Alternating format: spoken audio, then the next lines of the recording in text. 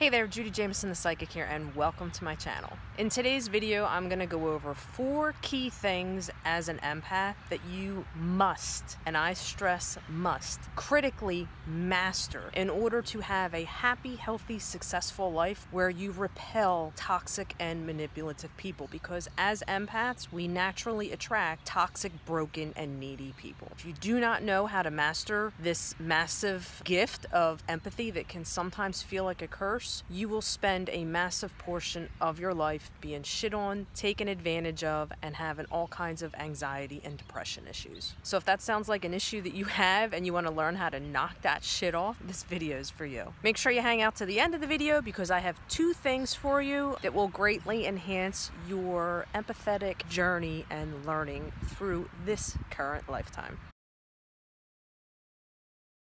So if you're new to my channel and you have no idea who I am, let me take a second and introduce myself. My name is Judi Jamieson. I am a psychic. I'm not a fortune teller. I teach intuition and psychic development to those who are trying to heal and power up their lives from either some kind of life transition, some kind of awakening, or toxic and manipulative people. By learning what your natural intuitive and psychic gifts are and developing them, you have like what I'll refer to as an extra helping hand to power the hell up in a spiritual way that most people cannot even comprehend or grasp.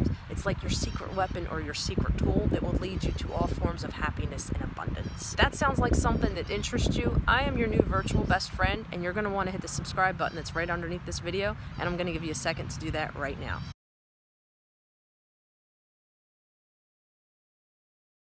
So we all know as an empath, we feel we're healers. We're not we're natural healers, right? And we sometimes feel obligated to save the world. We want to help everybody. We just want to freaking love everybody and let them experience the, the beauty and the blessing of what that's like. But you gotta understand, not everybody wants that. So a lot of times when you find someone who is toxic or depressed or broken or needs help, you know, we sacrifice ourselves in order to help them.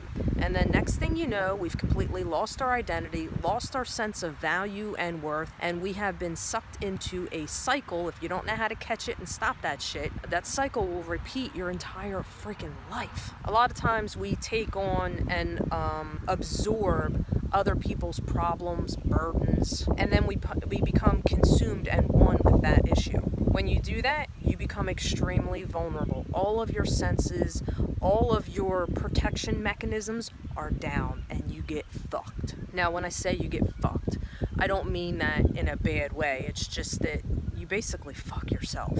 So let's go over what those four things are and dive a little bit deeper into them. If that sounds good to you, do me a favor, hit the thumbs up button right now and we'll consider that a virtual high five between the two of us. One, you cannot fix everybody, okay? You got to wrap that around your head. Two, you have to be to learn how to be very self-aware within yourself and what is going on within your own energy. Three, you have to learn boundaries and self-respect for yourself. This is where you need to really tune into your own internal power that you freely share and give to everyone else, but very rarely give to yourself. And four, cut your freaking ties or just keep your mouth shut and do not help those who are not deliberately coming to you and asking for it. So before we dive into these four things, I want to let you know that when you support someone who is a toxic person, you are creating a codependency type relationship. It's a, a fucked up cycle where you're given and they're taken, but you're not getting replenished. And you're giving and then they're taking and you're not getting replenished. Think of it this way you are fucking with and messing with somebody else's life lesson and karma by you interfering and trying to fix it when they either don't want it or they're not ready. Try thinking of it that way. You don't want to fuck with people's karma or life lessons.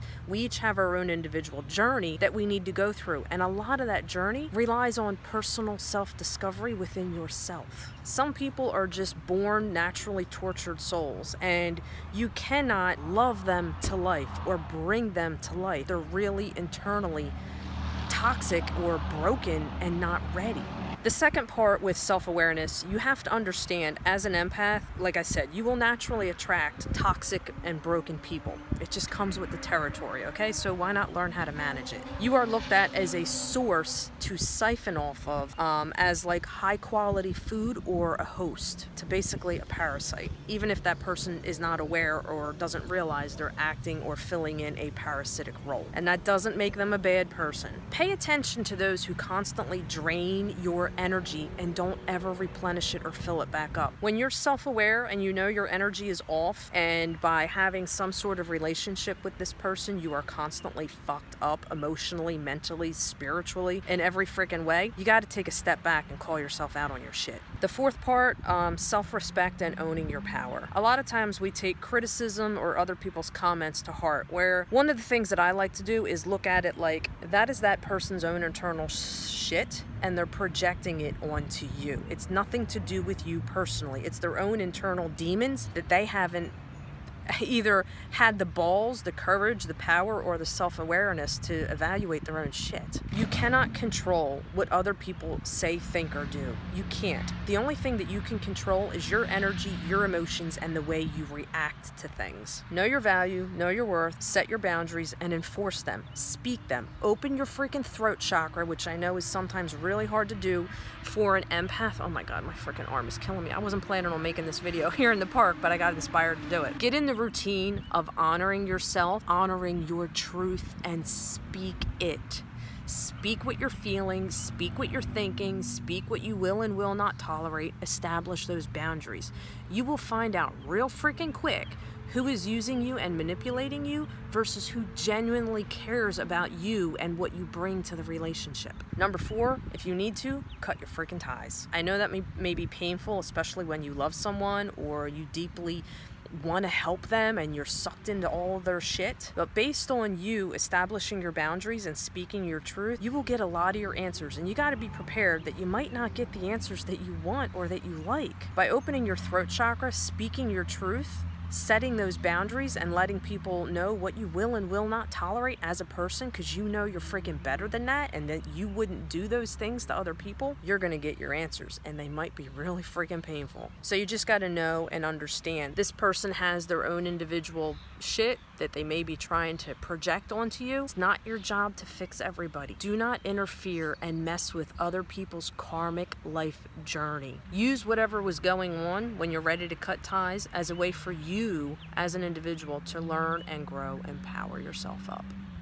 One of the reasons why I like to do these videos is to make them like interactive virtual relationships. The only way relationships work is if you communicate. So I got a question for you. Actually, two questions. If you're someone who has learned their power, their value, their worth, and how to set and enforce boundaries by opening your throat chakra without the fear of how you're going to hurt somebody else, but knowing your value and worth and respecting that, do me a favor and comment below and share with me and anybody else what are some of the things that you do to enforce your power, stay in your power, and not feel guilty about doing it. The second question I have if you are someone who is struggling, comment below and tell me what you're struggling with. This way, if I have experience with it, I can create a video to help you out. So remember at the beginning of the video, I told you hang out to the end because I have two things for you. One, if you are somebody who is suffering from a broken heart from a toxic or manipulative relationship, from someone who is a survivor of domestic violence, narcissistic abuse, and rape, underneath this video, I have an online course that I created called How to Unfuck Your Broken Heart Fast, and it goes into healing from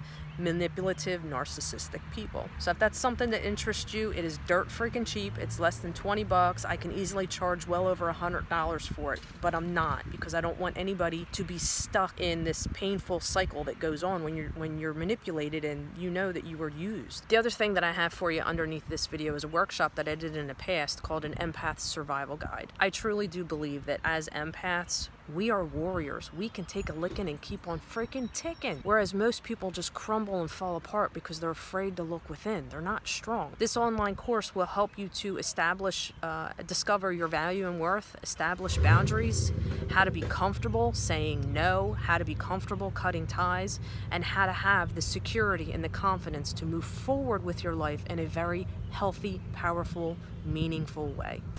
So that's what I have for you. I hope you have a wonderful, phenomenal, kick freaking ass day. Comment below, talk to me if you enjoyed this video. Again, give it a thumbs up, share it. Hopefully you hit that subscribe button with the little bell so you get notified. So this way I will see you real soon. Have a great one.